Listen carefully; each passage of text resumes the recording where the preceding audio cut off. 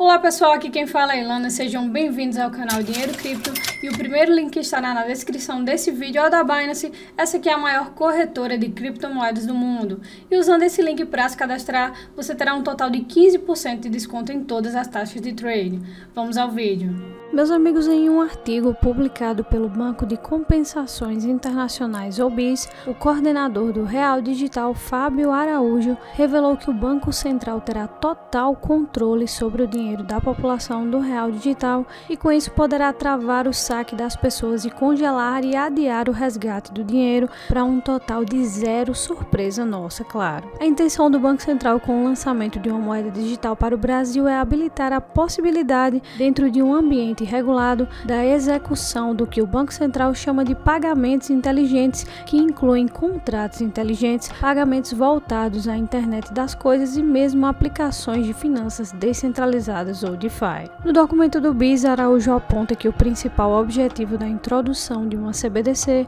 é fornecer aos empreendedores um ambiente seguro e confiável para inovar através do uso de tecnologias com o intuito de programar pagamentos inteligentes, como o que ocorre no ambiente das criptomoedas. No artigo que descreve o real digital e o seu funcionamento para o BIS, Araújo destaca que o Banco Central deve manter a parceria com o setor privado no fornecimento de liquidez ao mercado. Portanto, de acordo com o executivo, o Banco Central vislumbra a coexistência entre o real digital brasileiro e o dinheiro privado emitido por instituições regulamentadas pelo BCB nos pagamentos inteligentes pretendidos. Sendo assim, os particulares poderiam transformar os seus depósitos em tokens capazes de acessar os serviços prestados nessa nova plataforma sobre um compromisso desses tokens serem convertidos em real, ou seja, bancos poderão emitir os seus tokens próprios voltados a aplicações de contratos inteligentes, sendo seu saldo em real digital como garantidor das operações. No entanto, diferente do ecossistema das criptomoedas, no qual os usuários são os donos de seus ativos e ninguém pode travar suas operações, no CBDC do Brasil haverá um sistema para travar saques. Araújo aponta ainda que em determinado momento e por diversos motivos pode haver uma corrida bancária em busca de converter esses tokens no real digital, que será garantido pelo Banco Central e para evitar isso o Banco Central já prevê backstops e restrições na conversão fluxo de e para CBDCs. Como restrições na conversão, o Banco Central aponta que o fluxo de troca desses tokens para o real digital teria um limite e até mesmo precisaria ser agendado com antecedência, portanto Banco Central terá o poder de controlar o fluxo do dinheiro dentro do sistema do real digital e já prevê travas para controlar esse fluxo. Araújo finaliza o documento apontando que o real digital, ao habilitar as soluções de contratos inteligentes e dinheiro programável no ambiente financeiro do Brasil,